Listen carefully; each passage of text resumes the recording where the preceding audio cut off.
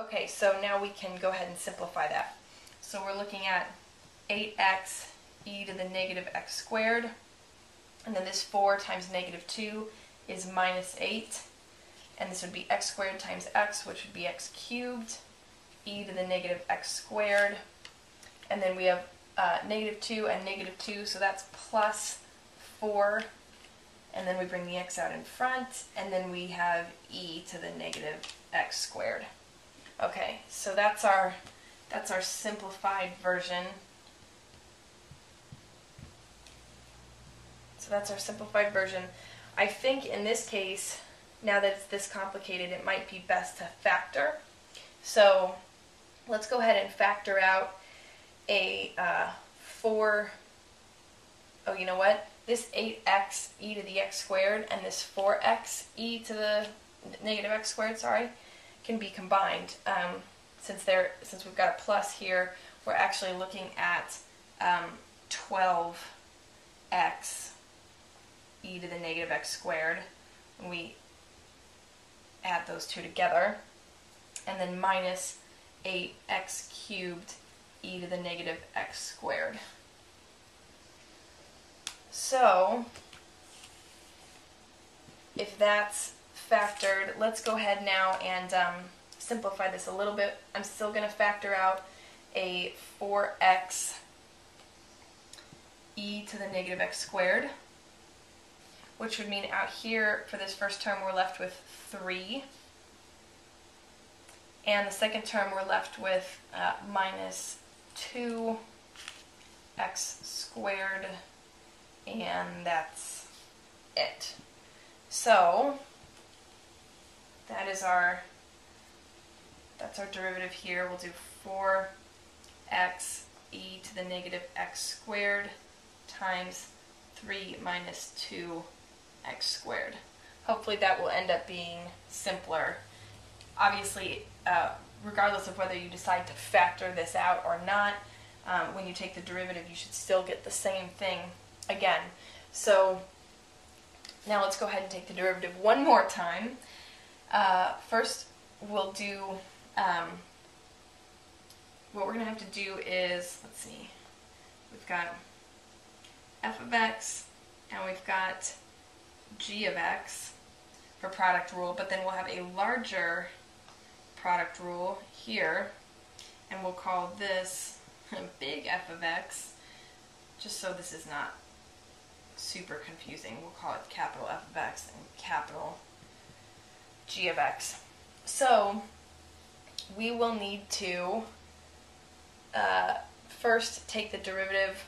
We'll, we'll first be looking at these capital F of x and capital G of x derivatives. So um, we're going to do, let's just write out our, our formula here. We'll do f prime, capital F prime of x times g of x plus uh, f, capital F of x, g prime of x. Okay, so this is going to be our formula. So we need the derivative of this uh, term here, the 4x e to the negative x squared. But in order to take that, we have to use product rule here.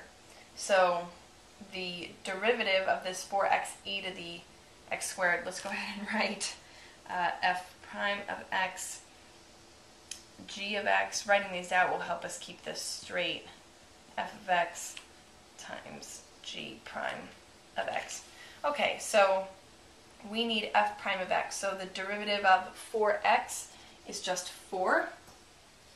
And then g of x is, uh, just leaving it alone, e to the negative x squared, plus f of x, leaving that alone, so that's 4x, times the derivative of e to the negative x squared here, which we know is just negative 2x e to the negative x squared. So that is uh, the derivative of, that's, that's f, capital F prime of x here. And then we're multiplying that whole thing by g of x. So we multiply this whole thing by 3 minus 2x squared. 3 minus 2x squared. And then we're on to f of x, so we add to this plus, um, leaving this alone now, so 4x e to the negative x squared. And then we multiply that by the derivative of this 3 minus 2x squared, which is, uh, the derivative of 3 is just 0, it's a constant, goes away, so we're actually only looking at negative 4x here. Negative 4x. Okay, well that was a hefty derivative. We don't need these guys anymore. So now we just need to simplify this, which won't be an easy task either. So let's say that it's um, 4e to the negative x squared. And then since we have a positive 4 and a negative 2, we're looking at negative 8. And then x squared, these two x's multiplied together, e to the negative x squared.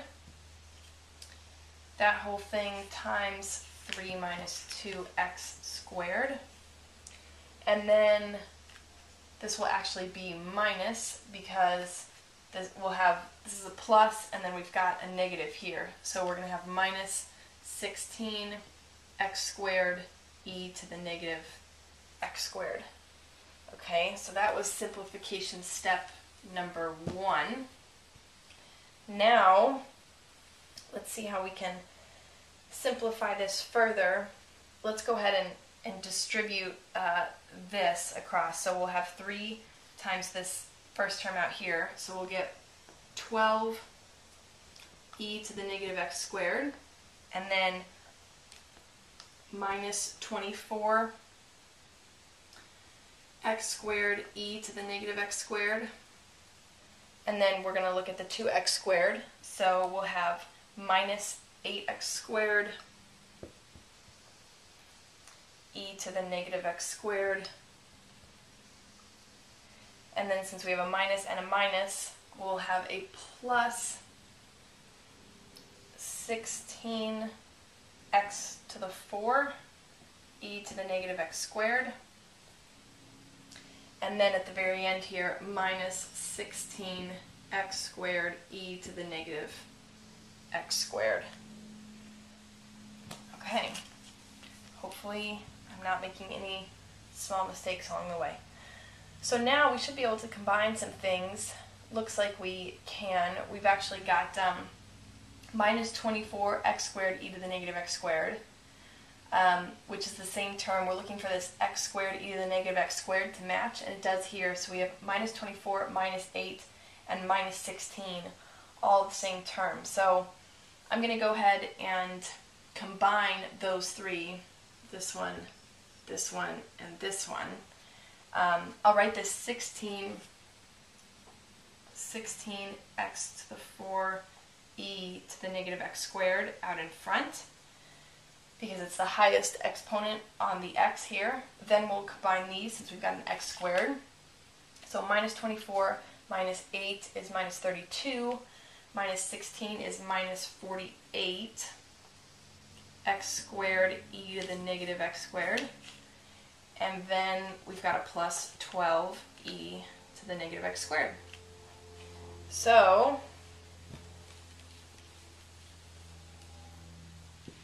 looks like we could leave this if we wanted to, um, but I think we should go ahead and simplify.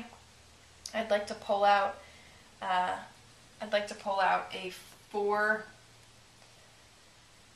e to the negative x squared. So if we pull out 4 e to the negative x squared, then we're looking at times 4 x to the fourth minus 12 x squared and then plus 3, right? 4x to the fourth minus 12x squared plus 3. Oh good, I had done this ahead of time and that's what we got last time.